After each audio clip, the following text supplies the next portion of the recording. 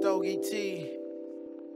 Well, well, well, what's good, and welcome to the Hip Hop Society where everybody's included. From the new wave to OG bars, we loving all the music. We are about to revive hip hop straight from the gutter. I got a slogan over here, it reads Uniting the Culture.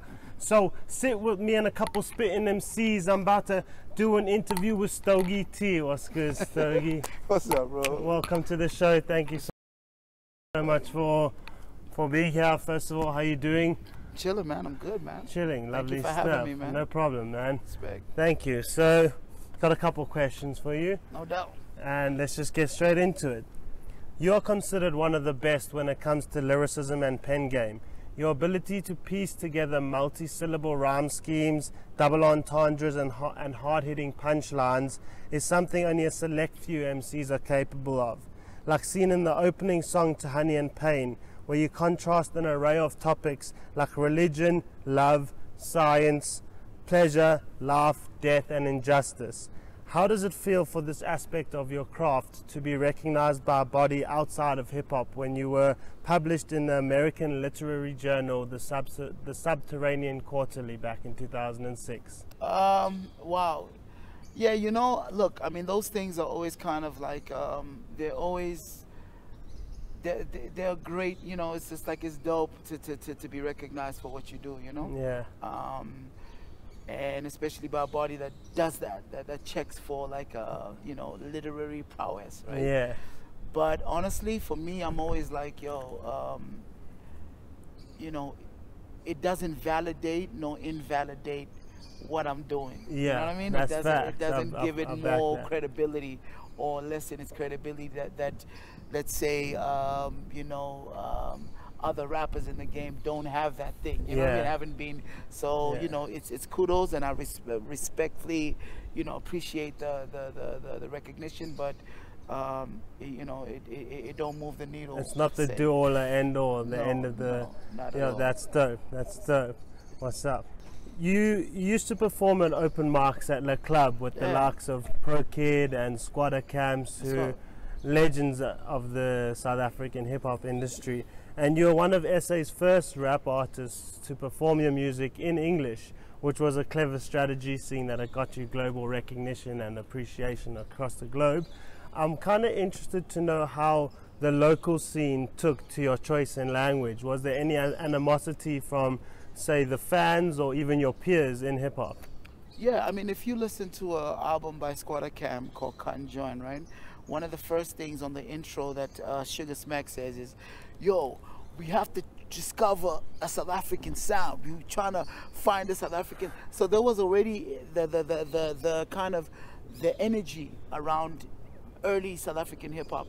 And when I say early, man, I must I must I must stress that there were people like six or seven years before that moment, prophets of the city, who were already doing this. So it's not like we were the first or anything. You know what I mean? They, they, right. they Yeah. existed uh, uh, uh, before that. But in this moment, people were trying to create a very distinct South African identity for the hip hop, you know? Right. So vernac kind of uh, uh, uh, basically rapping in Zulu and our indigenous languages became a very important uh, form of expression for, for, for, sure. you know what I mean? Uh, it was already happening in the clubs. It was already happening, you know, in the ciphers, you know. Yeah, yeah. So um, no one really frowned upon anyone rapping in English because everyone came from rapping in English.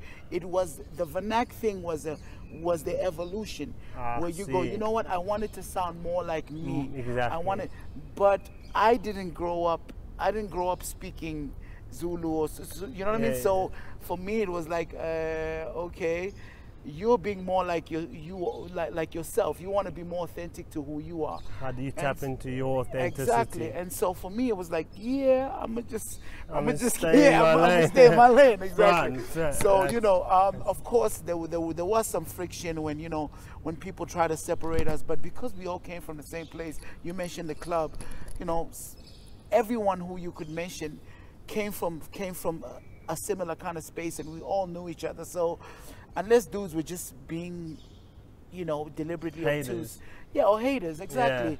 There's no way they could say, "Nah, this guy doesn't belong in the culture." Because what do you mean? dude? Yeah, we're all no, here together. exactly. So. Coming up together, and like you said, like exactly. if you're gonna be a hater, like art uh, expresses itself in so many different ways, and if your your way to express it is in English, and that's the best you can get out of your pen is Yeah. by writing English dialect. Like, Absolutely. man. And when you say global recognition, you know, it's not really because I rapped in English. It's because I was dope. you me? I Yeah. think I think there's a lot of people who rap in English who aren't. you yeah, know what I mean? think what I meant by that was like the access. The access exactly. Like if you're gonna if you're rapping in Zulu, only Zulu speakers will understand. You know, you, I hear or. Tanzanian, you're maybe your native. What they? Right. Yeah. Right. I, I was born in Tanzania, but I'm not Tanzanian. I'm South Oh, African. okay. Yeah, I was fine, just born fine, there. yeah. fine, fine. Cool. All right. You connected with a couple members from the Mozambican band 340 Mills to form the group Tumi and the Volume, where you fuse jazz and hip hop with complex and politicized lyrics, like one of your first collabs you did in 2005 with Cincinnati born MC Mainflow, where you say the line, I mean business like racist systems where the slaves keep living and get raised for prison. Your ability to speak on current issues, be it political or social, in a way that captivates the audience as well as well as presents itself as immaculate poetry is second to none. Is this something that comes naturally to you? And how important is it to speak on these um, topics in music at a caliber of your level? You know, honestly, I, I it, it's it, it was all it's all training, bro. It's all training. It's like work, you know. It's all work. Like uh, f- f- there are I've, I've I've come across some natural rappers, some Yeah. natural talents, guys who just kind of like they take to it, you know. Yeah. Like their form is impeccable. Their with me, everything had was work, bro. You know what I mean? Um, you know, I I'm able to get better because I work at getting better. You know, if I discover a new style, I want to completely consume and eat it. You know, Yeah, that's- uh, that's. I- you know. And, and this might be like uh, an example for younger MCs. For me, like you know, like when I first heard like Eminem, right? Yeah. For me, I couldn't relate to the messaging. I couldn't relate to what he was talking about. Like you Right. know, it was like a bit dark, you know. But I completely consumed the form. You know what I mean? How he, I'm keeping it raw, illegal like Malik and Jamal, because I don't believe in the law, Or like, like I'm Steven Seagal, Seagal. right? Yeah. All that that form, that form is impeccable to Yeah, me. the cadence is exactly. is So so so that's what I that's what I I took. Yeah. The you know I got your little son, you be receiving a call. I don't know about that, you know what I mean? But I but I but I but I, the form to me was impeccable. So so I, I I worked on it. You know, it's something that I worked on. Um, now the messaging is not something that I'm like, yo, I want to be the most conscious rapper in the world. No, it's how I grew up. It's this is what Your my truth. mom gave me these books. This is what you know what I mean. I come from a home where my dad was lost to me at one. You know what I mean? Like my mom was a political. So this is just my my my my, Your my everyday, expression. yeah. So That's dope. That's That's, it, yeah. dope. That's dope. After great success with the volume, the group disbanded in 2012 and you went quiet for a couple years. You then rebranded yourself as Stogie T. You explained the motivation for this rebranding on Sway in the Morning. You killed that freestyle by, on the Nas beat, by the way.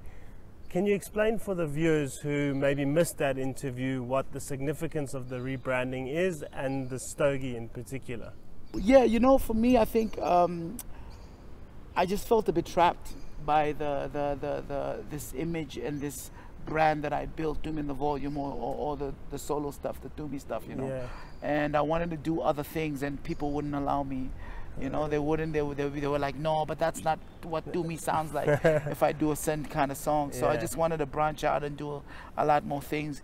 For me, Stogie is, is another name for cigar, and it just means, you know, I, I relate to how the kind of craftsmanship and and and and, and, and work ethic that comes into building a cigar, you know, from growing it, the time it takes to the patience, you know what I mean? Yeah, exactly. To like, you know, to the craftsmanship of actually just, you know, uh, uh, constructing a cigar, you know, all that. Um, and also possibly, I don't want to, I don't want to tell the audience how to react, but possibly even the way you consume, you know, my music. Yeah. I, I want you to be, you know, take your time with Relax it. you know with I it, mean? listen, focus, and learn from it. Absolutely. Respect. That's dope, Stogie. That's dope. Your catalog is littered with classics like By Any Means of your self titled album, Classic projects like Music from Our Good Hour, which is highly regarded as one of SA's greatest hip hop albums from your volume days. You achieved all this whilst paving the way for some of South Africa's hottest talents at the moment, like Nasty C and Emtee, who also rap in English. How does the industry look to you, an OG who came up with the rise of the genre, contributed to it with your fantastic pen game and cadences? Are we in good hands?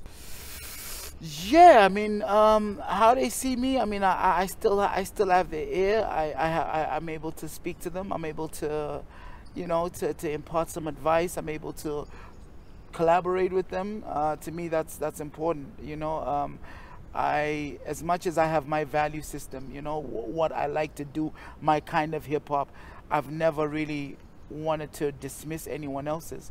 I've always just been like, yo, this is my value system uh, but I have time for people with others. Yeah, You know what I mean? exactly. I, I that's why the, the, the, the, the amount of people you mentioned, they don't sound like me. They don't rap Mm, like me. You know what I mean? styles. They got their own thing. So for me, it's like, I think we're in a good place as far as as long as you know, as long as as long as people still rapping, as long as you know, I I know that people kind of get nervous when piano and and other genres kind Mm. of take off, uh, uh, uh, you know. Um, a step ahead as far as like the achievements and the success and the notoriety but you know i think because it's a culture you don't you don't you don't rate it like that you know Yeah. you rate it according to like like the rappers impact come and it go, and Mm. dope rappers come and go, and dope stay, and dope move on to piano, and you can't.